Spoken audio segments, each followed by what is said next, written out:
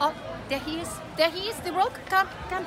Master Shagspeer, did you not drop this paper at my feet a moment ago? Let, let me see here. He did. He did.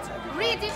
Read your words. I'll be a park and thou shalt be my deer. Mm. Feed where thou wilt on the mountain or in dale.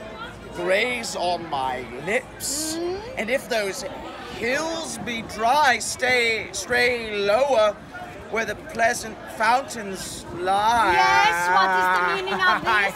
I never wrote such a thing. Those are not my words. I. Well, but your name is all over the bottom. It says Shagspeer or Shakespeare. or Anyone who- Shakespeare. Anyone who could hold a pen could have written that. Look, they. So, you did not intend I've for seen. Shakespeare. He's fantastic. Oh yes. I- You did not intend for these naughty scribbles to my eyes. I know nothing of the matter, my lady. Why not?